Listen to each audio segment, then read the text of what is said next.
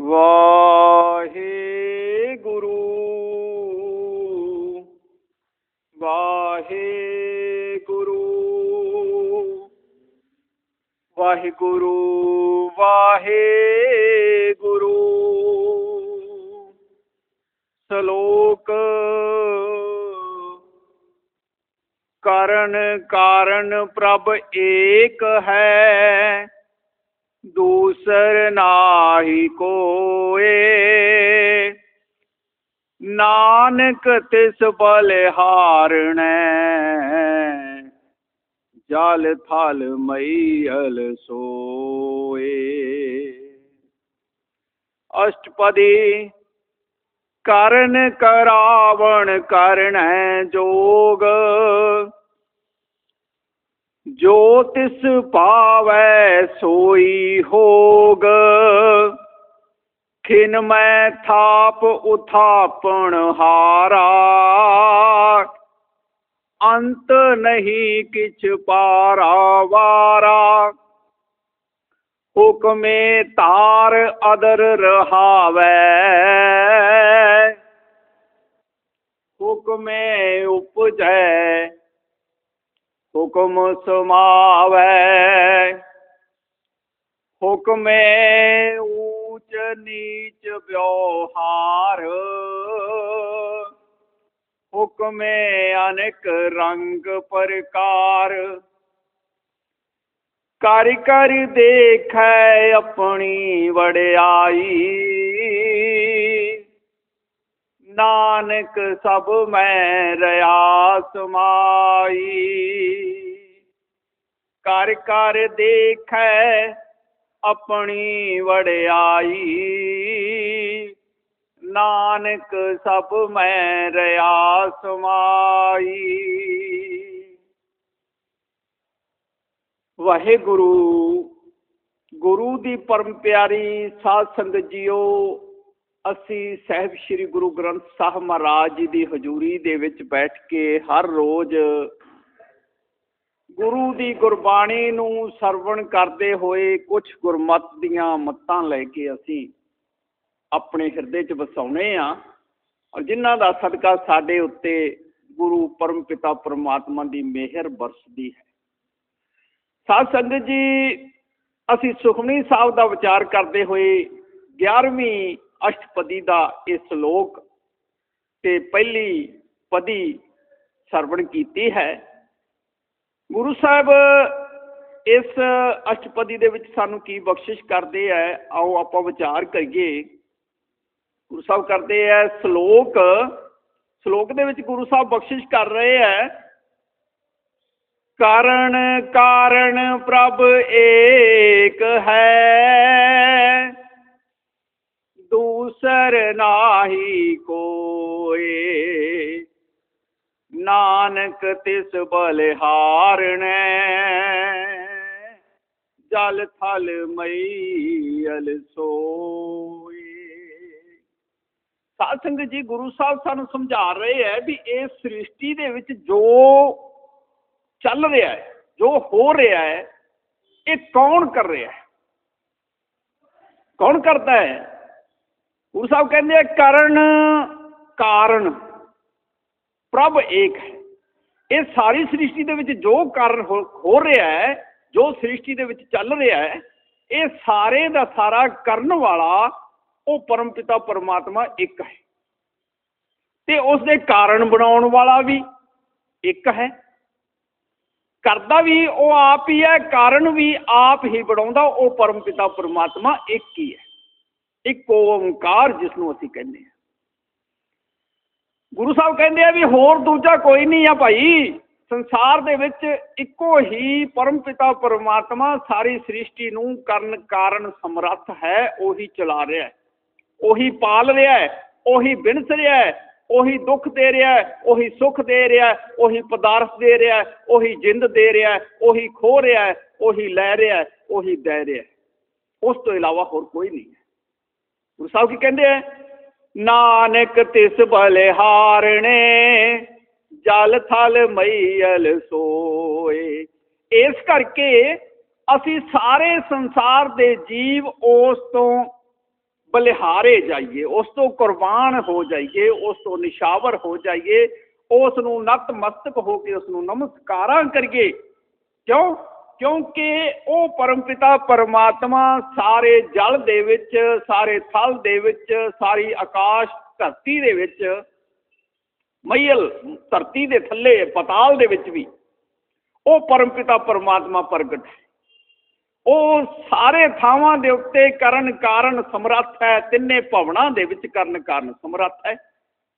ਤੋ ਸਾਸੰਗ ਜੀ, ਇਹ ਸ਼ਲੋਕ 11ਵੀਂ ਅਸ਼ਟਪਦੀ ਦਾ ਔਰ ਗੁਰੂ ਸਾਹਿਬ ਨੇ ਜਿੱਥੇ ਵੀ ਸੁਖਮਨੀ ਸਾਹਿਬ ਦੇ ਵਿੱਚ ਸ਼ਲੋਕ ਲਗਾਇਆ ਹੈ, ਉਸ ਸ਼ਲੋਕ ਦੀ ਫਿਰ ਉਸ ਅਸ਼ਟਪਦੀ ਦੇ ਵਿੱਚ ਵਿਆਖਿਆ ਕੀਤੀ ਹੈ ਕਿ ਕਿਸ ਤਰ੍ਹਾਂ ਇਹ ਸ਼ਲੋਕ ਦੀ ਪੂਰਨਤਾ ਮਤਲਬ ਗੁਰੂ ਸਾਹਿਬ ਸਾਨੂੰ ਸਮਝਾਉਂਦੇ ਆ ਵੀ ਇਸ ਤਰ੍ਹਾਂ ਉਹ ਵਿਆਖਿਆ ਕਰਕੇ ਦੱਸਦੇ ਆ। ਹੁਣ ਗੁਰੂ ਸਾਹਿਬ ਇਸ ਅਸ਼ਟਪਦੀ ਦੇ ਵਿੱਚ ਵੀ ਇਹੀ ਦੱਸ ਰਹੇ ਆ ਵੀ ਉਹ ਪੂਰਨ ਪਰਮ ਪਿਤਾ ਪਰਮਾਤਮਾ ਕਿਸ ਤਰ੍ਹਾਂ ਕਰਨ ਕਾਰਨ ਸਮਰੱਥ ਹੈ, ਕਿਸ ਤਰ੍ਹਾਂ ਦੇ ਕਰਮ ਕਰਦਾ ਹੈ ਮਨੁੱਖ ਦੇ ਕੀ ਵਸ ਨਹੀਂ ਹੈ, ਸਿਰਫ ਪਰਮਾਤਮਾ ਦੇ ਹੀ ਵਸ ਹੈ, ਇਹ ਸਾਨੂੰ ਇਸ ਅਸ਼ਟਪਦੀ ਦੇ ਵਿੱਚ ਗੁਰੂ ਸਾਹਿਬ ਸਮਝਾਉਂਦੇ ਆ। ਗੁਰੂ ਸਾਹਿਬ ਕੀ ਬਖਸ਼ਿਸ਼ ਕਰ ਰਹੇ ਆ? ਅਸ਼ਟਪਦੀ ਅਸ਼ਟਪਦੀ ਦੀ ਪਹਿਲੀ ਪਦੀ ਦੇ ਵਿੱਚ ਗੁਰੂ ਸਾਹਿਬ ਹੁਣ ਬਖਸ਼ਿਸ਼ ਕਰਦੇ ਆ। ਕਰਨ ਕਾ ਰਾ- ਕਰਨ ਕਰਾਵਣ ਕਰਨੈ ਜੋਗ, ਜੋ ਤਿਸ ਭਾਵੈ ਸੋਈ ਹੋਗ। ਉਹ ਪਰਮ ਪਿਤਾ ਪਰਮਾਤਮਾ ਪ੍ਰਭੂ ਕਰਨ ਵਾਲਾ ਔਰ ਕਰਾਉਣ ਵਾਲਾ, ਸਾਡੇ ਤੋਂ ਕਰਾਉਣ ਵਾਲਾ। ਸਾਡੇ ਅੰਦਰ ਬੈਠ ਕੇ ਆਪ ਹੀ ਕਰ ਰਿਹਾ ਹੈ, ਪਰ ਨਿਮਿਤ ਸਾਨੂੰ ਕਰ ਰਿਹਾ ਸਾਡੇ ਤੋਂ ਕਰਵਾ ਰਿਹਾ ਹੈ। ਔਰ ਉਹ ਕਰਨ ਯੋਗ ਹੈ, ਜੇ ਅਸੀਂ ਨਾ ਵੀ ਕਰੀਏ ਤਾਂ ਫਿਰ ਵੀ ਹੋ ਜਾਏਗਾ। ਕਈ ਵਾਰੀ ਅਸੀਂ ਬੰਦੇ ਦੇਖਦੇ ਆ ਤਾਂ ਕਿ ਮਨੁੱਖ ਜਿਹੜਾ ਹੈ, ਕੋਈ ਕਰਮ ਨਹੀਂ ਕਰਨਾ ਚਾਹੁੰਦਾ, ਪਰ ਉਸ ਤੋਂ ਮੱਲੋ ਮੱਲੀ ਉਹ ਕਰਮ ਹੋ ਜਾਂਦਾ ਕਿਉਂਕਿ ਉਹ ਪ੍ਰਮਾਤਮਾ ਕਰਾਉਣਾ ਚਾਹੁੰਦਾ ਸਾਡੇ ਤੋਂ। ਇਸ ਕਰਕੇ ਗੁਰੂ ਸਾਹਿਬ ਕਹਿੰਦੇ ਆ ਕਰਨ ਕਰਾਵਣ। ਕਰਨ ਵਾਲਾ, ਕਰਾਉਣ ਵਾਲਾ। ਕਰਨੇ ਯੋਗ, ਜੇ ਅਸੀਂ ਨਾ ਕਰੀਏ ਤੇ ਉਹ ਕਰਨ ਯੋਗ ਹੈ ਉਹ ਫਿਰ ਵੀ ਹੋ ਜਾਂਦਾ ਹੈ। ਇਸ ਕਰਕੇ ਗੁਰੂ ਸਾਹਿਬ ਕਹਿੰਦੇ ਆ, ਜੋ ਤਿਸ ਭਾਵੈ, ਸੋਈ ਹੋਗ। ਜਿਹੜੀ ਗੱਲ ਉਸ ਪਰਮ ਪਿਤਾ ਪਰਮਾਤਮਾ ਨੂੰ ਚੰਗੀ ਲੱਗਦੀ ਹੈ, ਉਹੀ ਕਰਮ ਜਿਹੜਾ ਇਸ ਸ੍ਰਿਸ਼ਟੀ ਦੇ ਉੱਤੇ ਹੁੰਦਾ ਹੈ।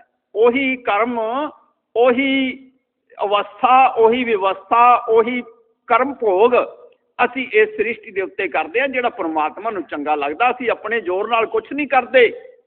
ਗੁਰੂ ਸਾਹਿਬ ਕਹਿੰਦੇ ਆ ਵੀ ਉਹ ਪਰਮਪਿਤਾ ਪਰਮਾਤਮਾ ਕਿੰਨੀ ਕੁ ਸ਼ਕਤੀ ਰੱਖਦਾ ਗੁਰੂ ਸਾਹਿਬ ਕਹਿੰਦੇ ਆ, ਖਿਨ ਮਾਇ ਥਾਪ ਉਥਾਪੜ ਹਾਰਾ, ਅੰਤ ਨਹੀਂ ਕਿਛ ਪਾਰਾ ਵਾਰਾ।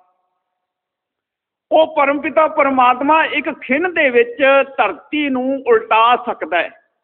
ਇੱਕ ਖਿਣ ਦੇ ਵਿੱਚ ਸਾਰੀ ਸ੍ਰਿਸ਼ਟੀ ਨੂੰ ਬਣਾ ਸਕਦਾ ਹੈ। ਇੱਕ ਖਿਣ ਦੇ ਵਿੱਚ ਮਨੁੱਖ ਨੂੰ ਸਾਹ ਦੇ ਸਕਦਾ ਹੈ, ਇੱਕ ਮਨੁੱਖ ਦੇ ਵਿੱਚ ਸਾਹ ਖੋ ਸਕਦਾ ਇੱਕ ਖਿਣ ਦੇ ਵਿੱਚ। ਇਹ ਐਸੀ ਉਸ ਪਰਮਪਿਤਾ ਪਰਮਾਤਮਾ ਦੀ ਸ਼ਕਤੀ ਹੈ ਕਿ ਉਹ ਗਰੀਬ ਤੋਂ ਰਾਜਾ ਬਣਾ ਦੇਵੇ, ਰਾਜੇ ਤੋਂ ਭਿਖਾਰੀ ਬਣਾ ਦੇਵੇ, ਭਿਖਾਰੀ ਨੂੰ ਆਕਾਸ਼ ਤੇ ਚੜਾ ਦੇਵੇ ਤੇ ਭਾਵੇਂ ਭਿਖਾਰੀ ਨੂੰ ਧਰਤੀ ਦੇ ਵਿੱਚ ਗਰਕ ਕਰ ਦੇਵੇ। ਇਹ ਉਸ ਦੀ ਸ਼ਕਤੀ ਹੈ, ਉਹ ਖਿੰਨ ਦੇ ਵਿੱਚ ਕਰ ਸਕਦਾ ਹੈ।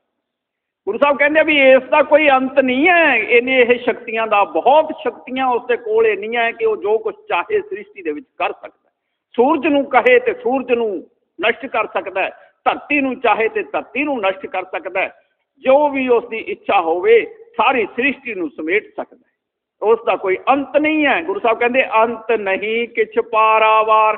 ਉਸ ਦਾ ਅੰਤ ਕਈ ਨਹੀਂ ਹੈ ਤੇ ਉਸ ਦਾ ਪਾਰ ਵੀ ਕਿਸੇ ਨੇ ਨਹੀਂ ਪਾਇਆ। ਅੱਗੇ ਗੁਰੂ ਸਾਹਿਬ ਕਹਿੰਦੇ ਹੁਕਮ ਹੁਕਮੇ ਧਾਰ ਅਦਰ ਹੁਕਮ ਹੁਕਮੇ ਉਪਜੈ, ਹੁਕਮ ਸਮਾਵੈ। ਹੁਣ ਗੁਰੂ ਸਾਹਿਬ ਕਹਿੰਦੇ ਆ ਵੀ ਉਹ ਪਰਮਪਿਤਾ ਪਰਮਾਤਮਾ ਜਿਹੜਾ ਕੈਸੇ ਕਰਮ ਕਰਦਾ, ਗੁਰੂ ਸਾਹਿਬ ਕਹਿੰਦੇ ਆ ਵੀ ਹੁਕਮੇ ਧਾਰ, ਜਦੋਂ ਉਹਦਾ ਹੁਕਮ ਹੁੰਦਾ ਹੈ, ਇਹ ਜੀਵ ਜਿਹੜਾ ਹੈ, ਭਾਵ ਸਾਗਰ ਦੀ ਧਾਰ ਦੇ ਵਿੱਚ ਆ ਜਾਂਦਾ ਹੈ। ਔਰ ਜਦੋਂ ਉਹਦਾ ਹੁਕਮ ਹੁੰਦਾ ਹੈ, ਉਹ ਵਿੱਚ ਵਿਚਾਰ ਹੀ ਰਹਿ ਜਾਂਦਾ ਹੈ। ਵਿਚਕਾਰ ਹੀ ਰਹਿ ਜਾਂਦਾ ਹੈ, ਪਾਰ ਨਹੀਂ ਪਾ ਸਕਦਾ ਉਹ। ਉਹ ਧਾਰ ਦੇ ਵਿੱਚ ਭਵ ਸਾਗਰ ਦੀ ਧਾਰ ਦੇ ਵਿੱਚ ਹੀ ਨਸ਼ਟ ਹੋ ਜਾਂਦਾ ਹੈ। ਅੱਗੇ ਗੁਰੂ ਸਾਹਿਬ ਕਹਿੰਦੇ ਆ, ਹੁਕਮ ਹੁਕਮੇ ਉਪਜੈ, ਹੁਕਮ ਸਮਾਵੈ। ਤੇ ਇਹ ਜੀਵ ਜਿਹੜੇ ਹੈ, ਹੁਕਮ ਦੇ ਨਾਲ ਹੀ, ਇਹ ਸਾਰੀ ਸ੍ਰਿਸ਼ਟੀ ਜਿਹੜੀ ਹੈ, ਹੁਕਮ ਦੇ ਨਾਲ ਹੀ ਪੈਦਾ ਹੁੰਦੀ ਹੈ। ਔਰ ਹੁਕਮ, ਪ੍ਰਮਾਤਮਾ ਦੇ ਹੁਕਮ ਦੇ ਨਾਲ ਹੀ ਇਹ ਖਤਮ ਹੋ ਜਾਂਦੀ ਹੈ, ਨਸ਼ਟ ਹੋ ਜਾਂਦੀ ਹੈ, ਬਿਨਸ ਜਾਂਦੀ ਹੈ। ਗੁਰੂ ਸਾਹਿਬ ਕਹਿੰਦੇ ਨਾ, ਹੁਕਮੀ ਹੋਵਣ ਆਕਾਰ, ਹੁਕਮ ਨਾ ਕਹਿਆ ਜਾਈ। ਹੁਕਮੀ ਹੋਵਨ ਜੀ ਹੁਕਮ ਮਿਲੈ ਵਡਿਆਈ। ਹੁਕਮੀ ਉਤਮ ਨੀਚ, ਹੁਕਮੇ ਲਿਖ ਦੁਖ ਸੁਖ ਪਾਈ ਹੈ। ਇੱਕ ਨਾ ਹੁਕਮੀ ਬਕਵਸੀਸ ਇੱਕ ਹੁਕਮੀ ਸਦਾ ਪਵਾਈ ਹੈ। ਹੁਕਮੇ ਅੰਦਰ ਸਭ ਕੋ, ਪਾਰ ਹੁਕਮ ਨਾ ਕੋਏ। ਨਾਨਕ ਹੁਕਮੈ ਜੇ 부 ਜੈ ਮੈਂ ਕਹੇ ਨਾ ਕੋਈ। ਇਸ ਕਰਕੇ ਗੁਰੂ ਸਾਹਿਬ ਸਾਨੂੰ ਹੁਣ ਇਹ ਸਮਝਾਉਂਦੇ ਆ ਕਿ ਸਾਰੀ ਸ੍ਰਿਸ਼ਟੀ ਉਸ ਦੇ ਹੁਕਮ ਦੇ ਵਿੱਚ ਚੱਲ ਰਹੀ ਹੈ। ਗੁਰੂ ਸਾਹਿਬ ਕਹਿੰਦੇ ਹੁਕਮੇ ਊਚ ਨੀਚ ਵਿਵਹਾਰ, ਹੁਕਮੇ ਅਨੇਕ ਰੰਗ ਪ੍ਰਕਾਰ। ਉਸ ਪਰਮ ਪਿਤਾ ਪਰਮਾਤਮਾ ਦੇ ਹੁਕਮ ਦੇ ਵਿੱਚ ਹੀ ਇਹ ਸਾਰੇ ਜੀਵ ਜਿਹੜੇ ਹੈ, ਕੋਈ ਉੱਚਾ ਹੋ ਜਾਂਦਾ ਹੈ। ਕੋਈ ਨੀਚਾ ਹੋ ਜਾਂਦਾ ਹੈ, ਪਰਮਾਤਮਾ ਦੇ ਹੁਕਮ ਦੇ ਕਰਮ ਜੋ ਕਰਦਾ ਹੈ, ਤੇ ਉਦੋਂ ਕਰਮਾਂ ਦੇ ਮੁਤਾਬਕ ਉਹ ਉੱਚਾ ਹੋ ਜਾਂਦਾ ਔਰ ਕਰਮਾਂ ਦੇ ਮੁਤਾਬਕ ਹੀ ਨੀਚਾ ਹੋ ਜਾਂਦਾ ਹੈ। ਹੁਕਮੇ ਅਨੇਕ ਰੰਗ ਪ੍ਰਕਾਰ, ਗੁਰੂ ਸਾਹਿਬ ਕਹਿੰਦੇ ਵੀ ਉਸ ਪਰਮ ਪਿਤਾ ਪਰਮਾਤਮਾ ਦੇ ਹੁਕਮ ਦੁਆਰਾ ਹੀ ਸੰਸਾਰ ਦੇ ਜੀਵਾਂ ਨੂੰ ਅਨੇਕ ਪ੍ਰਕਾਰ ਦੇ ਰੰਗ ਪ੍ਰਾਪਤ ਹੁੰਦੇ ਆ। ਕੋਈ ਰਾਜਾ ਬਣ ਜਾਂਦਾ ਹੈ, ਕੋਈ ਸਾਧੂ ਬਣ ਜਾਂਦਾ ਹੈ, ਕੋਈ ਚੋਰ ਬਣ ਜਾਂਦਾ ਹੈ, ਕੋਈ ਡਾਕੂ ਬਣ ਜਾਂਦਾ ਹੈ, ਕੋਈ ਭਗਤੀ ਕਰਦਾ ਹੈ, ਕੋਈ ਸੇਵਾ ਕਰਦਾ ਹੈ, ਕੋਈ ਆਚਾਰ ਵਿਵਹਾਰ ਲੋਕਾਂ ਨਾਲ ਭਲਾ ਕਰਦਾ ਇਸ ਤਰ੍ਹਾਂ ਦੇ ਰੰਗ ਜਿਹੜੇ ਆ, ਅਨੇਕ ਹੀ ਉਹ ਪਰਮਪਿਤਾ ਪਰਮਾਤਮਾ ਦੇ ਹੁਕਮ ਨਾਲ ਬਣਦੇ ਆ। ਤੇ ਗੁਰੂ ਸਾਹਿਬ ਕਹਿੰਦੇ ਆ, ਇਹ ਸਾਰੇ ਖੇਲ ਜਿਹੜੇ ਆ ਨਾ, ਉਹ ਪਰਮਪਿਤਾ ਪਰਮਾਤਮਾ ਆਪ ਹੀ ਕਰਦਾ ਔਰ ਆਪ ਹੀ ਕਰ ਕਰਕੇ ਇਹਨਾਂ ਜੀਵਾਂ ਦੇ ਵਿੱਚ ਬੈਠਾ ਹੋਇਆ, ਇਹਨਾਂ ਕਰਮਾਂ ਨੂੰ ਦੇਖਦਾ ਕੀਤੇ ਹੋਏ ਕਰਮਾਂ ਨੂੰ ਦੇਖਦਾ ਆਪਣੀ ਵਡਿਆਈ ਨੂੰ ਦੇਖਦਾ ਗੁਰੂ ਸਾਹਿਬ ਕੀ ਕਹਿੰਦੇ ਆ, ਕਰ ਕਰ ਇਹ ਦੇਖੈ ਆਪਣੀ ਵਡਿਆਈ ਉਹ ਸਾਹਿਬ ਜਿਹੜਾ ਹੈ ਵੱਡਾ ਹੈ, ਵੱਡਾ ਸਾਹਿਬ। ਉੱਚਾ ਥਾਓ, ਉੱਚੇ ਉੱਪਰ ਉੱਚਾ ਨਾਓ, ਉਹ ਸਾਹਿਬ ਵੱਡਾ ਹੈ। ਵੱਡੇ ਮੇਰੇ ਸਾਹਿਬਾ। ਵੱਡੇ ਮੇਰੇ ਸਾਹਿਬ, ਇਹ ਉਸ ਦੀ ਵਡਿਆਈ ਹੈ ਕਿ ਉਹ ਵੱਡਾ ਹੈ, ਸਭ ਤੋਂ ਵੱਡਾ ਹੈ। ਤੇ ਇਸ ਕਰਕੇ ਉਸ ਦੀ ਵਡਿਆਈ ਜਿਹੜੀ ਹੈ, ਜਦੋਂ ਉਹ ਕਰਦਾ ਹੈ ਨਾ, ਤੇ ਉਹ ਜਿਹੜੇ ਲੋਕ ਉਸ ਦੀ ਵਡਿਆਈ ਕਰਦੇ ਆ, ਇਹ ਉਹਨਾਂ ਨੂੰ ਵੀ ਦੇਖਦਾ ਹੈ। ਗੁਰੂ ਸਾਹਿਬ ਕਹਿੰਦੇ ਨਾਨਕ ਸਭ ਮੈਂ ਰਿਆ ਸਮਾਈ। ਤੇ ਇਹ ਸਾਰੇ ਕਰਮ ਜਿਹੜੇ ਐ, ਉਹ ਆਪ ਹੀ ਸਾਰੇ ਜੀਵਾਂ ਦੇ ਵਿੱਚ ਰਹਿ ਕੇ, ਅੰਤਰ ਸਰੀਰ ਦੇ ਵਿੱਚ ਆਪ ਪ੍ਰਗਟ ਹੋ ਕੇ, ਆਪ ਹੀ ਕਰਦਾ ਹੈ ਆਪ ਹੀ ਕਰਾਉਂਦਾ ਹੈ ਆਪ ਹੀ ਦੇਖਦਾ ਹੈ ਔਰ ਉਹ ਸਾਰੇ ਸਰੀਰਾਂ ਦੇ ਵਿੱਚ, ਜੀਵਾਂ ਦੇ ਹਰ ਆਕਾਰ ਦੇ ਵਿੱਚ ਉਹ ਸਮਾਇਆ ਹੋਇਆ ਹੈ ਪਰਮਪਿਤਾ, ਪਰਮਾਤਮਾ। ਗੁਰੂ ਸਾਹਿਬ ਸਾਨੂੰ ਇਹ ਭੇਦ ਦੀ ਗੱਲ ਦੱਸਦੇ ਆ। ਅੱਗੇ ਪਦੀ ਦੇ ਵਿੱਚ ਗੁਰੂ ਸਾਹਿਬ ਸਾਨੂੰ ਫਿਰ ਹੋਰ ਸਮਝਾਉਂਦੇ ਆ। ਕੀ ਬਖਸ਼ਿਸ਼ ਕਰਦੇ ਆ? ਪ੍ਰਭ ਪਾਵੈ, ਮਾਨੁਖ ਗਤ ਪਾਵੈ, ਪ੍ਰਭ ਭਾਵੈ, ਤਾ ਪਾਥਰ ਤਰਾਵੈ। ਪ੍ਰਭ ਭਾਵੈ, ਬਿਨ ਸਾਸ ਤੇ ਰਾਖੈ ਪ੍ਰਭ ਭਾਵੈ, ਤਾ ਹਰ ਗੁਣ ਪਾਖੈ। ਪ੍ਰਭ ਭਾਵੈ ਤਾ ਪਤਿ ਉਧਾਰੈ ਆਪ ਕਰੈ ਆਪਣ ਵਿਚਾਰੈ ਦੋਹਾ ਸਿਰਿਆ ਕਾ ਆਪ ਸੁਆਮੀ ਖੇਲੇ ਬਿਗਸੈ ਅੰਤਰ ਜਾਮੀ ਜੋ ਪਾਵੈ ਸੋ ਕਾਰ ਕਰਾਵੈ ਨਾਨਕ ਦ੍ਰਿਸ਼ਟੀ ਅਵਰ ਨ ਆਵੈ ਜੋ ਪਾਵੈ ਸੋ ਕਾਰ ਕਰਾਵੈ। ਨਾਨਕ ਦ੍ਰਿਸ਼ਟੀ ਅਵਰ ਨ ਆਵੈ। ਸਾਧ ਸੰਗਤ ਜੀ, ਗੁਰੂ ਸਾਹਿਬ ਹੁਣ ਇਸ ਪਦੀ ਦੇ ਵਿੱਚ ਫਿਰ ਉਸ ਪਰਮ ਪਿਤਾ ਪਰਮਾਤਮਾ ਦੇ ਅਚਰਜ ਖੇਲਾਂ ਦੀ ਗੱਲ ਦੱਸਦੇ ਆ। ਗੁਰੂ ਸਾਹਿਬ ਕਹਿੰਦੇ ਆ, ਪ੍ਰਭ ਭਾਵੈ, ਮਾਨੁਖ ਗਤ ਪਾਵੈ। ਉਹ ਕਿਸ ਤਰ੍ਹਾਂ ਕਰਨ ਕਾਰਨ ਹੈ? ਪਰਮਾਤਮਾ ਦੇ ਆਪਣੇ ਹੱਥ ਹੈ ਜ਼ੋਰ, ਮਨੁੱਖ ਦੇ ਹੱਥ ਕੁਛ ਨਹੀਂ ਹੈ, ਤੇ ਜਦੋਂ ਉਹ ਪਰਮਾਤਮਾ ਚਾਹੁੰਦਾ ਹੈ ਨਾ ਕਿ ਇਹ ਮਨੁੱਖ ਦਾ ਕਲਿਆਣ ਹੋ ਜਾਵੇ, ਇਸ ਮਨੁੱਖ ਦੀ ਗਤੀ ਹੋ ਜਾਵੇ, ਇਸ ਦਾ ਆਵਾਗਮਨ ਕੱਟਿਆ ਜਾਵੇ, ਤੇ ਉਦੋਂ ਉਸ ਪਰਮ ਪਿਤਾ ਪਰਮਾਤਮਾ ਦੀ ਕਿਰਪਾ ਦੁਆਰਾ ਉਸ ਮਨੁੱਖ ਦੀ ਆਵਾਗਮਨ ਦੀ ਗਤੀ ਜਿਹੜੀ ਹੈ, ਉਹ ਖਤਮ ਹੋ ਜਾਂਦੀ ਹੈ। ਇਹ ਸੰਸਾਰ ਦਾ ਆਉਣਾ ਜਾਣਾ ਖਤਮ ਹੋ ਜਾਂਦਾ ਹੈ, ਉਹ ਗਤ ਨੂੰ ਪ੍ਰਾਪਤ ਹੋ ਜਾਂਦਾ ਹੈ। ਤੇ ਜੇ ਗੁਰੂ ਸਾਹਿਬ ਕਹਿੰਦੇ ਆ, ਪ੍ਰਭ ਭਾਵੈ, ਤਾਂ ਪਾਥਰ ਤਰਾਵੇ। ਜੇ ਪਰਮਾਤਮਾ ਦੀ ਕਿਰਪਾ ਹੋਵੇ ਕਿ ਉਹ ਪੱਥਰ ਅਸੀਂ ਉਸ ਨੂੰ ਕਹਿੰਦੇ ਆ ਜਿਹੜਾ ਮੇਟਰ ਦਿਲ ਹੁੰਦਾ ਹੈ, ਜਿਹੜਾ ਕੁਝ ਨਹੀਂ ਕਰਦਾ, ਕਿਸੇ ਦਾ ਭਲਾ ਨਹੀਂ ਕਰਦਾ, ਕਿਸੇ ਦੇ ਪਿਆਰ ਨਹੀਂ ਕਰਦਾ, ਕਿਸੇ ਤੇ ਦਇਆ ਨਹੀਂ ਕਰਦਾ, ਤੇ ਪੱਥਰ ਪਾਣੀ ਦੇ ਵਿੱਚ ਜਦੋਂ ਰੱਖੀਦਾ ਨਾ, ਤਾਂ ਪਾਣੀ ਦੇ ਵਿੱਚ ਵੀ ਨਹੀਂ ਭਿੱਜਦਾ, ਐਸਾ ਹੁੰਦਾ ਤੇ ਗੁਰੂ ਸਾਹਿਬ ਕਹਿੰਦੇ ਕੋਈ ਐਸਾ ਪੱਥਰ ਦਿਲ ਵੀ ਕੋਈ ਹੋਵੇ ਨਾ ਤੇ ਜੇ ਪ੍ਰਮਾਤਮਾ ਦੀ ਬਖਸ਼ਿਸ਼ ਹੋਵੇ, ਪ੍ਰਮਾਤਮਾ ਚਾਵੇ ਕਿ ਇਸ ਨੂੰ ਵੀ ਧਾਰ ਦੇਣਾ ਹੈ, ਤੇ ਫਿਰ ਉਹ ਪੱਥਰ ਵੀ ਜਿਹੜੇ ਆ ਤਰਨ ਲੱਗ ਜਾਂਦੇ ਆ ਔਰ ਸਾਖਸ਼ਾਤ ਪਾਣੀ ਦੇ ਉੱਤੇ ਵੀ ਪੱਥਰ ਤਰਨ ਲੱਗ ਜਾਂਦੇ ਆ, ਉਹ ਸਧਾਰਨ ਪੱਥਰ। ਜੇ ਪ੍ਰਮਾਤਮਾ ਦੀ ਕਿਰਪਾ ਹੋਵੇ ਤੇ ਇਸ ਤਰ੍ਹਾਂ ਦੇ ਨਾਲ ਗੁਰੂ ਸਾਹਿਬ ਕਹਿੰਦੇ ਆ, ਭਾਈ ਪ੍ਰਭ ਪਾਵੈ ਬਿਨ ਸਾਸ ਤੇ ਰਾਖੈ, ਪ੍ਰਭ ਪਾਵੈ ਤਾਂ ਹਰ ਗੁਣ ਪਾਖੈ। ਜੇ ਪ੍ਰਮਾਤਮਾ ਨੂੰ ਚੰਗਾ ਲੱਗੇ ਤੇ ਮਨੁੱਖ ਨੂੰ ਬਿਨਾਂ ਸਾਸ ਤੋਂ ਵੀ ਜਿਉਂਦਾ ਰੱਖ ਦਿੰਦਾ ਹੈ। ਇਹ ਉਸ ਦੀ ਬਖਸ਼ਿਸ਼ ਹੈ। ਸਾਹ ਭਾਵੇਂ ਨਾ ਹੋਣ, ਪਰ ਪ੍ਰਮਾਤਮਾ ਦੀ ਕਿਰਪਾ ਐਸੀ ਹੁੰਦੀ ਆ ਉਸ ਦੇ ਉੱਤੇ ਕਿ ਉਹ ਫਿਰ ਵੀ ਜਿਉਂਦਾ ਰਹਿੰਦਾ ਔਰ ਜੀ ਪੈਂਦਾ ਹੈ। ਤੇ ਗੁਰੂ ਸਾਹਿਬ ਕਹਿੰਦੇ ਆ, ਪ੍ਰਭ ਭਾਵੇ ਤਾਂ ਹਰ ਗੁਣ ਰੱਖੈ, ਜੇ ਕਿਤੇ ਪ੍ਰਮਾਤਮਾ ਚਾਵੇ ਤੇ ਕੋਈ ਮਨੁੱਖ ਦੇ ਉੱਤੇ ਪ੍ਰਮਾਤਮਾ ਦੀ ਬਖਸ਼ਿਸ਼ ਹੋ ਜਾਵੇ ਕਿ ਇਹ ਪ੍ਰਮਾਤਮਾ ਦੇ ਗੁਣ ਗਾਵੇ ਤੇ ਫਿਰ ਪ੍ਰਮਾਤਮਾ ਦੀ ਕਿਰਪਾ ਦ੍ਰਿਸ਼ਟੀ ਦੁਆਰਾ ਉਹ ਗੁਰਮੁਖ ਪਿਆਰਾ ਵੀ ਪ੍ਰਮਾਤਮਾ ਦੇ ਗੁਣ ਗਾਉਂਦਾ ਹੈ। ਪ੍ਰਮਾਤਮਾ ਦੀ ਜਦੋਂ ਪ੍ਰਮਾਤਮਾ ਨੂੰ ਚੰਗੀ ਲੱਗਦੀ ਹੈ ਇਸ ਗੱਲ, ਉਦੋਂ ਪ੍ਰਮਾਤਮਾ ਦੀ ਕਿਰਪਾ ਦ੍ਰਿਸ਼ਟੀ ਉਸ ਮਨੁੱਖ ਤੇ ਹੋ ਜਾਂਦੀ ਹੈ ਤੇ ਉਹ ਪ੍ਰਮਾਤਮਾ ਦੇ ਗੁਣ ਗਾਉਣੇ ਸ਼ੁਰੂ ਕਰ ਦਿੰਦਾ ਹੈ। ਅੱਗੇ ਗੁਰੂ ਸਾਹਿਬ ਕਹਿੰਦੇ ਆ, ਪ੍ਰਭ ਪਾਵੈ ਤਾ ਪਤ ਤੇ ਉਦਾਰੈ, ਆਪ ਕਰੈ ਆਪਣ ਵਿਚਾਰੈ। ਜੇ ਪਰਮਾਤਮਾ ਨੂੰ ਚੰਗਾ ਲੱਗੇ ਤੇ ਗੁਰੂ ਸਾਹਿਬ ਕਹਿੰਦੇ ਆ ਵੀ ਜਨਮਾਂ ਜਨਮਾਂ ਦਾ ਮਲੀਨ ਹੋਇਆ ਪਤ ਆਤਮਾ ਜਿਹੜੀ ਹੈ, ਜਨਮਾਂ ਜਨਮਾਂ ਦੀ ਮੈਲ ਲੱਗੀ ਹੋਈ ਪਤਿਤ ਹੈ, ਉਸ ਨੂੰ ਵੀ ਗੁਰੂ ਸਾਹਿਬ ਕਹਿੰਦੇ ਆ, ਉਹ ਉਧਾਰ ਕਰ ਦਿੰਦੇ ਆ ਪਰਮ ਪਿਤਾ, ਪਰਮਾਤਮਾ ਦੀ ਬਖਸ਼ਿਸ਼ ਹੋਵੇ ਤਾਂ।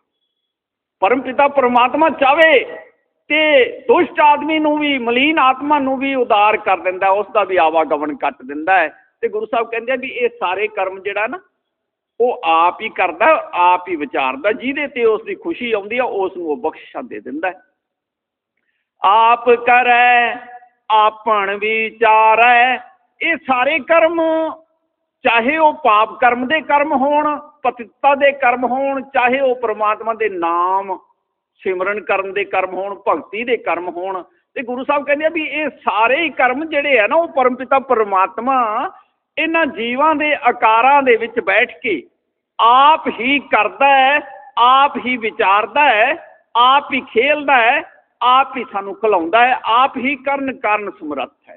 ਕੀ ਕਹਿੰਦੇ ਆ ਗੁਰੂ ਸਾਹਿਬ? ਦੋਹਾ ਸਿਰਿਆ ਕਾ ਆਪ ਸੁਆਮੀ, ਖੇਲੈ ਬਿਗਸੈ ਅੰਤਰ ਜਾਮੀ। ਇਹ ਸੰਸਾਰ ਦੇ ਵਿੱਚ ਉਸ ਪਰਮ ਪਿਤਾ ਪਰਮਾਤਮਾ ਨੇ ਦੋ ਮਾਰਗ ਬਣਾਏ ਆ ਇੱਕ ਮਾਇਆ ਦਾ ਮਾਰਗ ਜਿਹੜਾ ਕਿ ਨਰਕ ਦੇ ਵੱਲ ਲੈ ਕੇ ਜਾਂਦਾ ਔਰ ਜਿਸ ਦਾ 84 ਲੱਖ ਜੂਨੀਆਂ ਦਾ ਭੋਗ ਬਣਦਾ ਦੂਜਾ, ਉਸ ਪਰਮ ਪਿਤਾ ਪਰਮਾਤਮਾ ਦੀ ਸਿਫਤ ਸਲਾਹ ਦਾ ਮਾਰਗ। ਪਰਮਾਤਮਾ ਦੇ ਨਾਮ ਸਿਮਰਨ ਦਾ ਮਾਰਗ ਜਿਹੜਾ ਭਗਤੀ ਵੱਲ ਲੈ ਕੇ ਜਾਂਦਾ ਔਰ ਪਰਮਾਤਮਾ ਦੇ ਨਾਲ ਮਿਲਾ ਦਿੰਦਾ ਪਰਮਾਤਮਾ ਦੇ ਦਰਸ਼ਦਾਰੇ ਕਰਾ ਦਿੰਦਾ ਹੈ। ਤੇ ਗੁਰੂ ਸਾਹਿਬ ਸਾਨੂੰ ਸਮਝਾਉਂਦੇ ਆ ਕਿ ਇਹ ਦੋਨਾਂ ਮਾਰਗਾਂ ਦੇ ਸਿਰਿਆਂ ਦਾ ਜਿਹੜਾ ਸਿਰਾ ਹੈ ਨਾ, ਉਹ ਪਰਮਾਤਮਾ ਦੇ ਹੱਥ ਹੈ। ਦੋਨਾਂ ਸਿਰਿਆਂ ਦਾ ਮਾਲਕ ਜਿਹੜਾ ਹੈ, ਉਹ ਪਰਮਪਿਤਾ ਪਰਮਾਤਮਾ ਹੈ, ਜਿਸ ਮਨੁੱਖ ਨੂੰ ਜਿਵੇਂ ਚਾਵੇ ਜੇ ਤਾਂ ਪਾਪ ਕਰਮ ਵੱਲ ਲਾਉਣਾ ਤਾਂ ਉਹ ਪਾਪ ਕਰਮ ਵੱਲ ਲਾਵੇਗਾ। ਤੇ ਜੇ ਭਗਤੀ ਵੱਲ ਲਾਉਣਾ ਹੈ, ਤੇ ਪ੍ਰਮਾਤਮਾ ਆਪਣੀ ਮਰਜ਼ੀ ਨਾਲ ਭਗਤੀ ਵੱਲ ਲਾਵੇਗਾ। ਇਹ ਮਾਲਕ ਦੋਨਾਂ ਸਿਰਿਆਂ ਦਾ, ਉਹ ਪਰਮਪਿਤਾ ਪਰਮਾਤਮਾ ਆਪ ਹੀ ਹੈ। ਆਪਣੀ ਖੁਸ਼ੀ ਦੁਆਰਾ ਜਿਵੇਂ ਉਹ ਖੇਲਣਾ ਚਾਹੁੰਦਾ ਹੈ, ਅੰਤਰਜਾਮੀ ਉਹ ਸਭ ਦੇ ਦਿਲਾਂ ਦੀਆਂ ਜਾਣਦਾ ਹੈ ਕਿ ਉਹ ਕੈਸਾ ਮਨੁੱਖ ਜਿਹੜਾ ਹੈ, ਕੈਸੀ ਵਸਤੂ ਪ੍ਰਾਪਤ ਕਰਨਾ ਲੋੜਦਾ ਹੈ, ਕੈਸੀ ਉਸ ਦੀ ਸੁਰਤੀ ਹੈ, ਇਹ ਉਹ ਪਰਮਪਿਤਾ ਪਰਮਾਤਮਾ ਅੰਤਰਜਾਮੀ ਸਾਡੇ ਮਨ ਦੀਆਂ ਜਾਣਦਾ ਹੈ। ਇਸ ਕਰਕੇ ਗੁਰੂ ਸਾਹਿਬ ਕਹਿੰਦੇ ਆ, ਖੇਲੈ ਬਿਗਸੈ, ਅੰਤਰਜਾਮੀ। ਉਹ ਆਪ ਹੀ ਸਾਡੇ ਵਿੱਚ ਖੇਲ ਰਿਹਾ ਹੈ, ਆਪ ਹੀ ਸਾਨੂੰ ਖਿਲਾ ਰਿਹਾ ਹੈ। ਸਾਡੇ ਮਨ ਦੀਆਂ ਇੱਛਾਵਾਂ ਨੂੰ ਜਾਣਦਾ ਹੋਇਆ ਸਾਨੂੰ ਵੈਸੀ ਹੀ ਬਖਸ਼ਿਸ਼ ਦੇ ਦਿੰਦਾ ਹੈ, ਜੈਸੀ ਸਾਡੇ ਮਨ ਦੀ ਇੱਛਾ ਹੁੰਦੀ ਹੈ। ਇਸ ਕਰਕੇ ਗੁਰੂ ਸਾਹਿਬ ਕਹਿੰਦੇ ਆ, ਖੇਲੈ ਬਿਗਸੈ ਅੰਤਰਜਾਮੀ ਉਹ ਆਪ ਹੀ ਖੇਲ ਰਿਹਾ, ਆਪ ਹੀ ਖੁਸ਼ ਹੁੰਦਾ ਹੈ। ਅੱਗੇ ਗੁਰੂ ਸਾਹਿਬ ਕਹਿੰਦੇ ਆ, ਜੋ ਪਾਵੈ, ਸੋ ਕਾਰ ਕਰਾਵੈ। ਨਾਨਕ ਦ੍ਰਿਸ਼ਟੀ ਅਵਰ ਨ ਆਵੈ। ਜੋ ਭਾਵੈ ਜੋ ਪ੍ਰਮਾਤਮਾ ਨੂੰ ਚੰਗਾ ਲੱਗਦਾ ਹੈ, ਉਹੀ ਕਾਰ ਇਹਨਾਂ ਜੀਵਾਂ ਤੋਂ ਉਹ ਪਰਮਪਿਤਾ ਪਰਮਾਤਮਾ ਕਰਾਉਂਦਾ ਹੈ।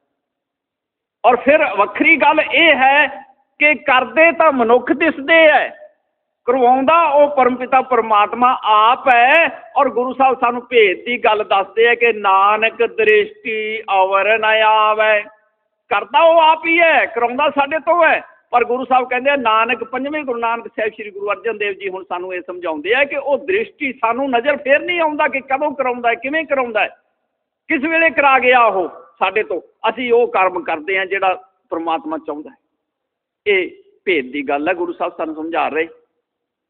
ਹੁਣ ਅੱਗੇ ਅਗਲੀ ਪਦੀ ਦੇ ਵਿੱਚ ਫਿਰ ਗੁਰੂ ਸਾਹਿਬ ਸਾਨੂੰ ਬਖਸ਼ਿਸ਼ ਕਰਦੇ ਵੀ ਮਨੁੱਖ ਕਿੰਨਾ ਕੁ ਕਿੰਨਾ ਕੁ ਜ਼ੋਰ ਹੈ ਮਨੁੱਖ ਦੇ ਵਿੱਚ ਔਰ ਪ੍ਰਮਾਤਮਾ ਦਾ ਜ਼ੋਰ ਕਿੰਨਾ ਹੈ। ਗੁਰੂ ਸਾਹਿਬ ਕੀ ਕਹਿੰਦੇ ਆ? ਕਹੋ ਮਨੁੱਖ ਤੇ ਕਿਆ ਹੋਏ ਆਵੈ?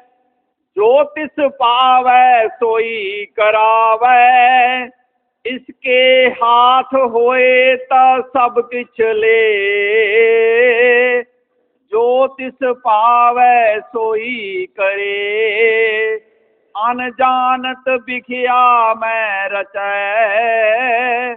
ਜੇ ਜਾਣਤ ਆਪਣ ਆਪ ਬਚੈ, ਪਰਮੇ ਭੂਲਾ ਦੈ ਦਿਸਤਾਵੈ ਨਿਮਖ ਮਾਏ, ਚਾਰ ਕੁੰਟ ਫਿਰ ਆਵੈ।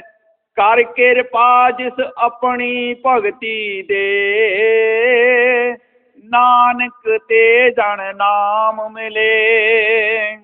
ਕਰ ਕਿਰਪਾ ਜਿਸ ਆਪਣੀ ਭਗਤੀ ਦੇ। ਨਾਨਕ ਤੇ ਜਨ ਨਾਮ ਮਿਲੇ। ਉਹ ਸਾਧ ਸੰਗਤ ਜੀ ਗੁਰੂ ਸਾਹਿਬ ਹੁਣ ਸਾਨੂੰ ਇਹ ਬਖਸ਼ਿਸ਼ ਕਰਦੇ ਆ ਭਾਈ, ਇਹ ਮਨੁੱਖ ਦੇ ਹੱਥ ਕਿੰਨਾ ਕੁ ਹੈ? ਕੈਸੇ ਕਰਮ ਕਰਦਾ, ਕਿੰਨੀ ਕੁ ਸੂਝ ਆ ਮਨੁੱਖ ਦੇ ਕੋਲੇ? ਤੇ ਗੁਰੂ ਸਾਹਿਬ ਸਾਨੂੰ ਸਮਝਾਉਂਦੇ ਆ, ਕਹੋ, ਮਨੁੱਖ ਤੇ ਕਿਆ ਹੋਏ ਆਵੇ? ਭਾਈ, ਦੱਸੋ ਤੁਸੀਂ ਵੀ ਮਨੁੱਖ ਤੋਂ ਕੀ ਹੁੰਦਾ ਹੈ? ਕੁਝ ਕਰ ਸਕਦਾ ਮਨੁੱਖ? ਗੁਰੂ ਸਾਹਿਬ ਸਾਨੂੰ ਸਵਾਲ ਕਰਦੇ ਆ ਕਿ ਇਹਦਾ ਜਵਾਬ ਸਾਨੂੰ ਇਹੀ ਮਿਲਦਾ ਹੈ ਕਿ ਉਹ ਕੁਝ ਨਹੀਂ ਕਰ ਸਕਦਾ। ਮਨੁੱਖ ਦੇ ਹੱਥ ਕੁਝ ਨਹੀਂ ਹੈ। ਕਿਹਦੇ ਹੱਥ ਹੈ? ਗੁਰੂ ਸਾਹਿਬ ਕਹਿੰਦੇ, ਜੋ ਤਿਸ ਪਾਵੈ ਸੋਈ ਕਰਾਵੈ। ਜੋ ਪਰਮਪਿਤਾ ਪਰਮਾਤਮਾ ਨੂੰ ਚੰਗਾ ਲੱਗਦਾ, ਉਹੀ ਸਾਡੇ ਤੋਂ ਕਰਵਾਉਂਦਾ ਹੈ। ਅਸੀਂ ਕਰਨ ਕਾਰਨ ਸਨੀ ਸਨੀਆਂ ਕਰਨ ਕਾਰਨ ਸਮਰੱਥ ਜਿਹੜਾ ਉਹ ਪਰਮਪਿਤਾ ਪਰਮਾਤਮਾ ਹੈ, ਜੋ ਚਾਹੁੰਦਾ ਹੈ, ਜੋ ਕੰਮ ਸਾਡੇ ਤੋਂ ਕਰਾਉਣਾ ਚਾਹੁੰਦਾ ਅਸੀਂ ਉਹੀ ਕਰਦੇ ਹਾਂ। ਸਾਡੇ ਹੱਥ ਕੁਝ ਨਹੀਂ ਹੈ। ਤੇ ਫਿਰ ਗੁਰੂ ਸਾਹਿਬ ਕਹਿੰਦੇ ਆ, ਜੇ ਇਹਦੇ ਹੱਥ 'ਚ ਹੋਵੇ ਨਾ, ਤੇ ਫਿਰ ਇਹ ਕਿਹੋ ਜਿਹੇ ਕਰਮ ਕਰਦਾ ਮਨੁੱਖ? ਇਹ ਵੀ ਹੁਣ ਗੁਰੂ ਸਾਹਿਬ ਸਾਨੂੰ ਸਮਝਾ ਰਹੇ ਹੈ। ਇਸਕੇ ਹੱਥ ਹੋਏ ਤਾਂ ਸਭ ਕਿਛ ਲੈ। ਜੇ ਕਿਤੇ ਸਾਰੇ ਸੰਸਾਰ ਦੇ ਪਦਾਰਥ ਇਸ ਮਨੁੱਖ ਦੇ ਹੱਥ 'ਚ ਆ ਜਾਂਦੇ, ਸਾਰੇ ਭੰਡਾਰਿਆਂ ਦੀਆਂ ਚਾਬੀਆਂ, ਸਾਰੇ ਸੁੱਖਾਂ ਦੀਆਂ ਚਾਬੀਆਂ ਇਹ ਮਨੁੱਖ ਨੂੰ ਪ੍ਰਮਾਤਮਾ ਦੇ ਦਿੰਦਾ, ਤੇ ਫਿਰ ਗੁਰੂ ਸਾਹਿਬ ਕਹਿੰਦੇ ਜੇ ਇਹਦੇ ਹੱਥ ਆ ਜਾਂਦੀ, ਇਹਨਾਂ ਤਾਂ ਸਾਰਾ ਕੁਝ ਆਪ ਹੀ ਲੈ ਲੈਂਦਾ, ਦੂਜੇ ਨੂੰ ਕਿਸੇ ਨੂੰ ਨਾ ਦਿੰਦਾ। ਕਿਸੇ ਹੋਰ ਨੂੰ ਨਾ ਦਿੰਦਾ। ਇਹ ਮਨੁੱਖ ਐਸਾ ਹੈ। ਮਨੁੱਖ ਆਪਣਾ ਸਵਾਰਥੀ ਹੈ। ਮੁ- ਮਤਲਬ ਪ੍ਰਸਤੀ ਹੈ, ਮਨੁੱਖ ਕਿਹੜਾ ਜਿਸ ਦੇ ਇਹਦੇ ਹੱਥ ਕੋਈ ਆ ਗਈ ਚੀਜ਼ ਤੇ ਇਹ ਆਪ ਹੀ ਕਬਜ਼ਾ ਕਰਕੇ ਬਹਿ ਜਾਂਦਾ ਕਿਸੇ ਨੂੰ ਵੰਡ ਕੇ ਨਹੀਂ ਛਕਦਾ ਇਹ ਮਨੁੱਖ ਦੀ ਫਿਤਰਤ ਹੈ। ਤੇ ਗੁਰੂ ਸਾਹਿਬ ਕਹਿੰਦੇ ਹੈ, ਜੋ ਤਿਸ ਭਾਵ ਹੈ ਸੋਈ ਕਰੇ, ਇਸ ਕਰਕੇ ਉਸ ਪਰਮਪਿਤਾ ਪਰਮਾਤਮਾ ਨੇ ਇਹ ਬਖਸ਼ਿਸ਼ ਜਿਹੜੀ ਹੈ, ਆਪਣੇ ਹੱਥ ਰੱਖੀ ਹੋਈ ਹੈ। ਤੇ ਜੋ ਪਰਮਪਿਤਾ ਪਰਮਾਤਮਾ ਚਾਹੁੰਦਾ ਹੈ, ਮਨੁੱਖ ਤੋਂ ਕਰਵਾਉਣਾ, ਇਹ ਮਨੁੱਖ ਉਹੀ ਕਰਦਾ ਹੈ।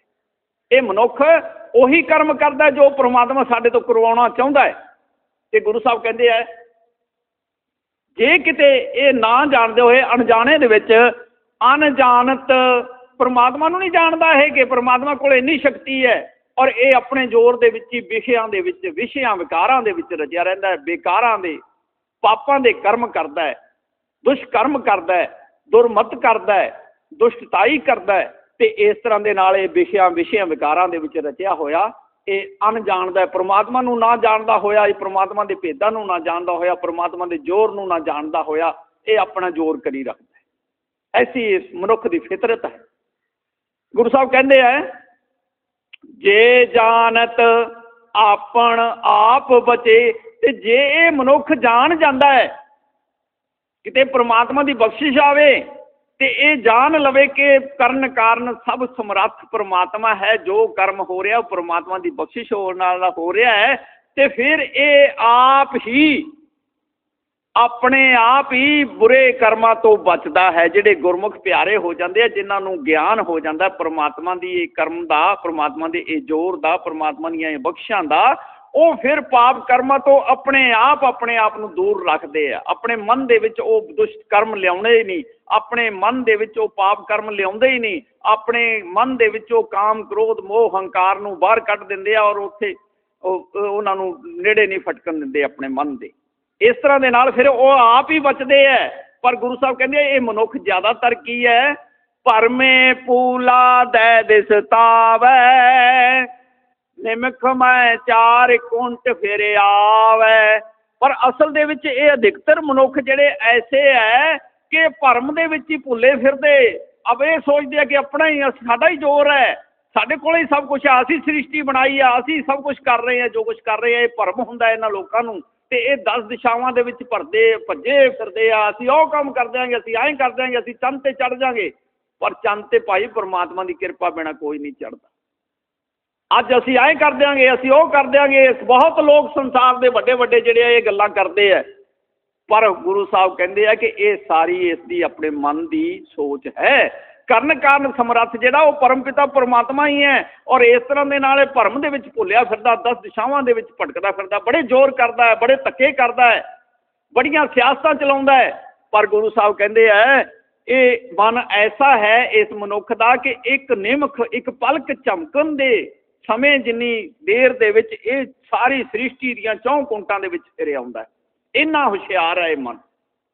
ਇਹ ਮਨੁੱਖ, ਇੰਨਾ ਫਿਤਰਤੀ ਹੈ, ਇੰਨਾ ਚਲਾਕ ਹੈ, ਇੰਨਾ ਆਪਣੇ ਆਪ ਨੂੰ ਹੰਕਾਰੀ ਸਮਝਦਾ ਕਿ ਮੈਂ ਹੀ ਕਰਦਾ, ਜੋ ਕੁਝ ਕਰਦਾ ਪਰ ਗੁਰੂ ਸਾਹਿਬ ਕਹਿੰਦੇ ਨਹੀਂ। ਗੁਰੂ ਸਾਹਿਬ ਕਹਿੰਦੇ ਆ, ਜੇ ਕਿਤੇ ਵਾਹਿਗੁਰੂ ਦੀ ਕਿਰਪਾ ਆ ਜਾਵੇ, ਕਿਸੇ ਗੁਰਮੁਖ ਪਿਆਰੇ ਦੇ ਉੱਤੇ। ਤੇ ਗੁਰੂ ਸਾਹਿਬ ਕਹਿੰਦੇ ਆ, ਕਰ ਕਿਰਪਾ ਜਿਸ ਆਪਣੀ ਭਗਤੀ ਦੇ। ਨਾਨਕ ਤੇ ਜਨ ਨਾਮ ਮਿਲੇ। ਜਦੋਂ ਕਿਤੇ ਕਿਸੇ ਗੁਰੂ ਪਿਆਰੇ ਦੇ ਉੱਤੇ ਪ੍ਰਮਾਤਮਾ ਦੀ ਬਖਸ਼ਿਸ਼ ਹੋ ਜਾਵੇ, ਕਿਰਪਾ ਦ੍ਰਿਸ਼ਟੀ ਹੋ ਜਾਵੇ, ਤੇ ਗੁਰੂ ਸਾਹਿਬ ਕਹਿੰਦੇ ਆ, ਫਿਰ ਉਸ ਗੁਰੂ ਪਿਆਰੇ ਨੂੰ ਉਹ ਪਰਮ ਪਿਤਾ ਪਰਮਾਤਮਾ ਆਪਣੀ ਭਗਤੀ ਦੇ ਦਿੰਦਾ ਹੈ, ਆਪਣੀ ਸੇਵਾ ਦੇ ਦਿੰਦਾ ਹੈ, ਆਪਣਾ ਪਿਆਰ ਦੇ ਦਿੰਦਾ ਹੈ, ਆਪਣਾ ਨਾਮ ਦੇ ਦਿੰਦਾ ਹੈ ਤੇ ਫਿਰ ਉਹ ਨਾਮ ਦੇ ਸਦਕਾ ਇਹ ਨਾਮ ਸਿਮਰਨ ਕਰਦਾ ਹੋਇਆ, ਨਾਮ ਪ੍ਰਮਾਤਮਾ ਹੀ ਸਿਮਰਨ ਕਰਾਉਂਦਾ ਸਾਡੇ ਤੋਂ ਤੇ ਨਾਮ ਸਿਮਰਨ ਕਰਦਾ ਹੋਇਆ ਉਹ ਆਪਣੇ ਨਾਲ ਮਿਲਾ ਲੈਂਦਾ ਪਰਮ ਪਿਤਾ ਪ੍ਰਮਾਤਮਾ, ਆਪਣੇ ਗੁਰੂ ਪਿਆਰੇ ਆਪਣੇ ਭਗਤ ਨੂੰ, ਆਪਣੀ ਕਿਰਪਾ ਕਰਕੇ ਆਪਣੇ ਨਾਲ ਮਿਲਾ ਲੈਂਦਾ, ਬੰਦੇ ਦਾ ਜ਼ੋਰ ਨਹੀਂ ਹੈ ਕਿ ਭਗਤੀ ਕਰਕੇ ਪ੍ਰਮਾਤਮਾ ਨੂੰ ਪ੍ਰਾਪਤ ਕਰ ਲਵੇ। ਪ੍ਰਮਾਤਮਾ ਦੀ ਕਿਰਪਾ ਹੈ ਕਿ ਸਾਡੇ ਉੱਤੇ ਮਿਹਰ ਕਰਕੇ ਸਾਨੂੰ ਆਪਣਾ ਨਾਮ ਦੇ ਕੇ ਆਪਣੇ ਨਾਲ ਮਿਲਾ ਲੈਂਦਾ ਇਹ ਬਖਸ਼ਿਸ਼ ਹੈ ਗੁਰੂ ਸਾਹਿਬ, ਇਸ ਕਰਕੇ ਕਹਿੰਦੇ ਆ, ਕਰ ਕਿਰਪਾ ਜਿਸ ਆਪਣੀ ਭਗਤੀ ਦੇ, ਨਾਨਕ ਤੇ ਜਨ ਨਾਮ ਮਿਲੇ। ਪੰਜਵੇਂ ਗੁਰੂ ਨਾਨਕ ਸਾਹਿਬ ਸ੍ਰੀ ਗੁਰੂ ਅਰਜਨ ਦੇਵ ਜੀ ਇਹ ਸਾਨੂੰ ਸਮਝਾਉਂਦੇ ਆ ਕਿ ਜਿਸ ਤੇ ਪ੍ਰਮਾਤਮਾ ਦੀ ਕਿਰਪਾ ਹੋ ਜਾਂਦੀ ਹੈ ਉਸ ਨੂੰ ਪ੍ਰਮਾਤਮਾ ਦਾ ਨਾਮ ਪ੍ਰਾਪਤ ਹੋ ਜਾਂਦਾ ਹੈ। ਤੇ ਫਿਰ ਉਹ ਨਾਮ ਸਿਮਰਨ ਕਰਦੇ ਹੋਏ ਭਗਤ ਨੂੰ ਪਰਮ ਪਿਤਾ ਪਰਮਾਤਮਾ ਆਪਣੀ ਕਿਰਪਾ ਕਰਕੇ ਆਪਣੇ ਨਾਲ ਮਿਲਾ ਲੈਂਦਾ, ਆਪਣੀ ਜੋਤ ਦੇ ਵਿੱਚ ਅਭੇਦ ਕਰ ਲੈਂਦਾ। ਤੋ ਸਾਧ ਸੰਗਤ ਜੀ, ਅੱਗੇ ਹੁਣ ਗੁਰੂ ਸਾਹਿਬ ਫਿਰ ਚੌਥੀ ਪਦੀ ਦੇ ਵਿੱਚ ਸਾਨੂੰ ਇਹੀ ਸੰਸਾਰ ਦੇ ਮਨੁੱਖਾਂ ਦੀ ਫਿਰ ਗਾਂ ਅੱਗੇ ਹੋਰ ਕੀ ਕਰਦੇ ਐ, ਕੀ ਕਰਨਾ ਚਾਹੁੰਦੇ ਐ, ਪ੍ਰਮਾਤਮਾ ਔਰ ਕੀ ਸਾਡੇ ਤੋਂ ਕਰਵਾਉਂਦੇ ਐ, ਇਹ ਬਖਸ਼ਿਸ਼ ਕਰ ਰਹੇ ਐ।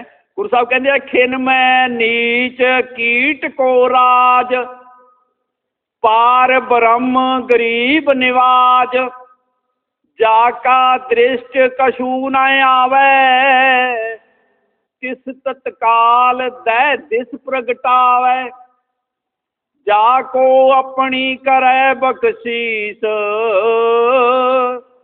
ਤਾ ਕਾ ਲੇਖਾ ਨ ਗਣੈ ਜਗਦੀਸ਼। ਜੀਉ ਪਿੰਡ ਸਭ ਤਿਸ ਕੀ ਰਾਸ ਕਟ ਕਟ ਪੂਰਨ ਬ੍ਰਹਮ ਪ੍ਰਗਾਸ। ਆਪਣੀ ਬਣਤ ਆਪ ਬਣਾਈ, ਨਾਨਕ ਜੀਵੈ ਦੇਖ ਵਡਾਈ। ਆਪਣੀ ਬਣਤ ਆਪ ਬਣਾਈ।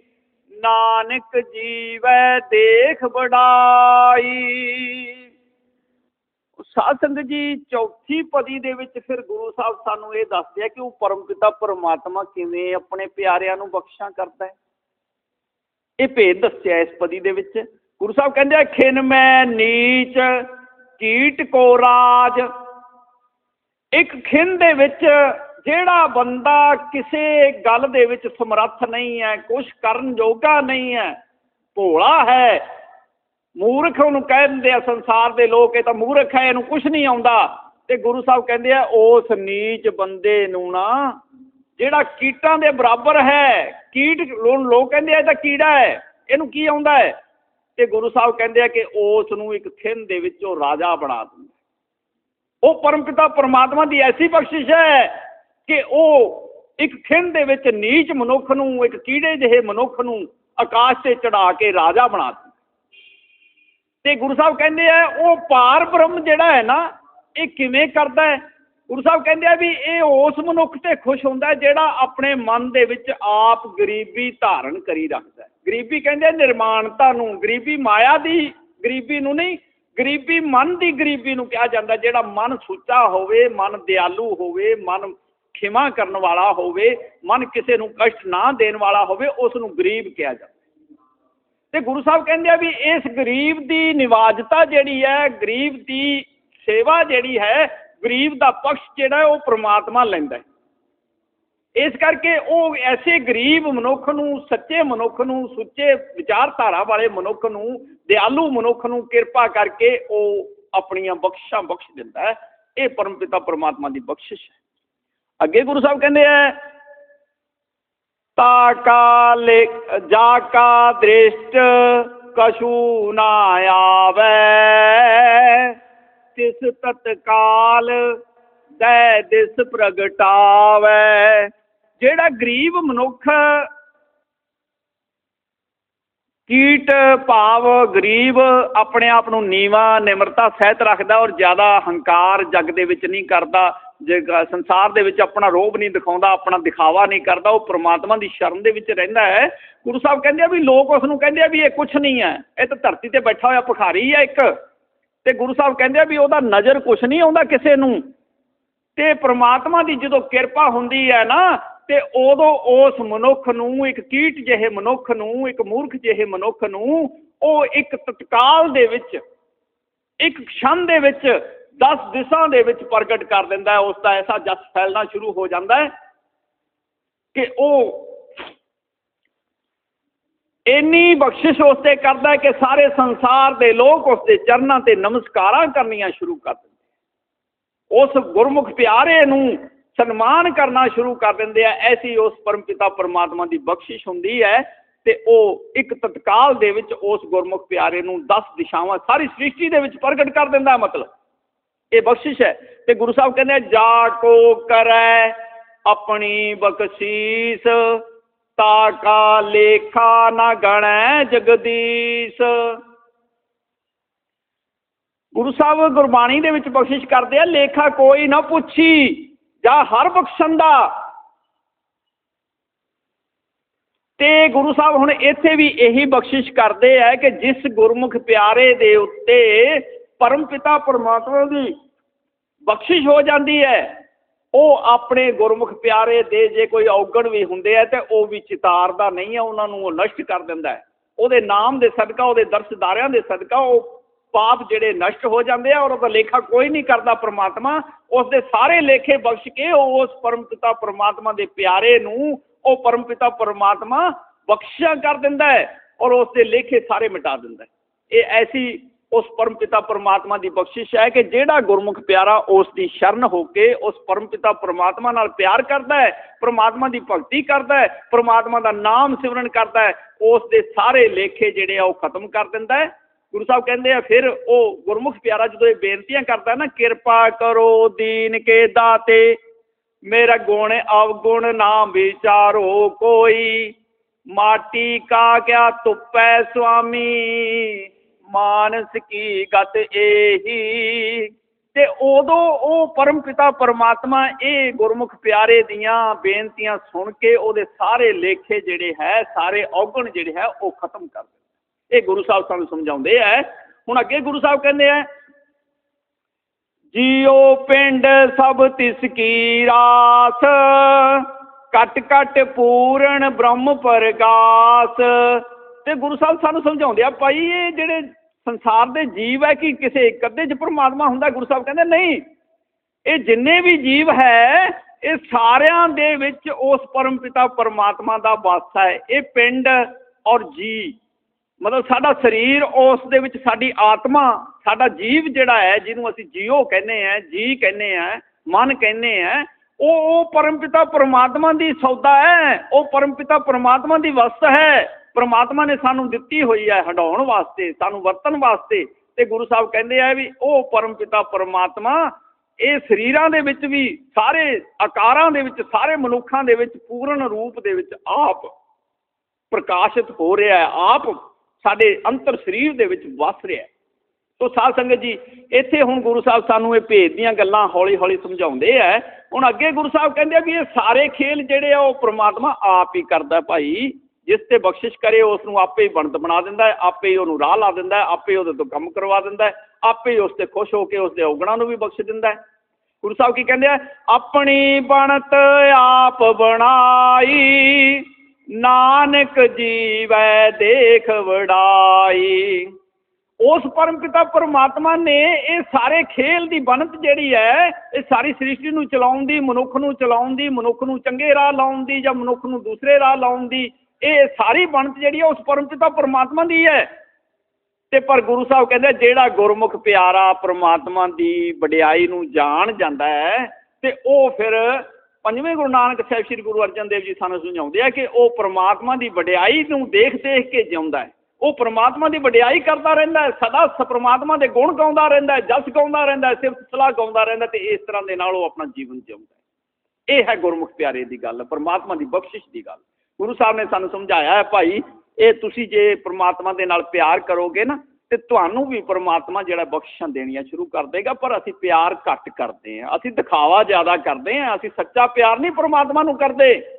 ਜੇ ਕਿਤੇ ਗੁਰੂ ਦਾ ਪਿਆਰਾ ਕੋਈ ਪਰਮਾਤਮਾ ਨਾਲ ਸੱਚਾ ਪਿਆਰ ਕਰਨਾ ਸ਼ੁਰੂ ਕਰ ਦਿੰਦਾ ਹੈ, ਆਪਣੇ ਮਨ ਨੂੰ ਪਰਮਾਤਮਾ ਦੇ ਸਮਰਪਿਤ ਕਰ ਦਿੰਦਾ ਹੈ, ਤੇ ਪ੍ਰਮਾਤਮਾ ਤਾਂ ਬਖਸ਼ਾਂ ਦੇਣ ਲੱਗਿਆ ਦੇਰ ਨਹੀਂ ਲਾਉਂਦਾ। ਦੇਰ ਤਾਂ ਸਾਡੀ ਹੈ ਕਿ ਅਸੀਂ ਉਸ ਨੂੰ ਸਮਰਪਿਤ ਨਹੀਂ ਹੁੰਦੇ।